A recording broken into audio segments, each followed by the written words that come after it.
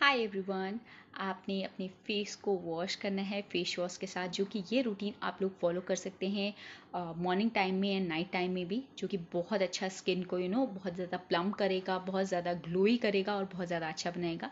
सो face wash आप कोई भी यूज़ कर सकते हैं। उसके बाद मैंने मास्क यूज़ किया है, आप लोग मास्क यूज़ कर सकते हैं। अपना कोई भी फेवरेट जो भी आपकी स्किन को सूट करता है। मुझे ये आजकल प्लम का बहुत अच्छा लग रहा है तो मैंने इसको यूज़ किया है। इसको आप लोगों ने टेन मिनट्स के लिए रखना है और जब ये सूख जाएगा, आप लोगों ने इसको वॉश इट ऑफ़ कर देना है।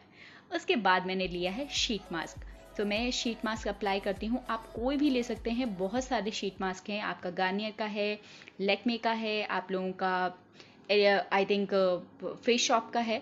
सो so, उसके बाद आप लोगों ने इसको हटाना है और आपका फेस सच में बहुत ज़्यादा स्मूथ प्लम और बहुत ज़्यादा ग्लोई हो जाएगा।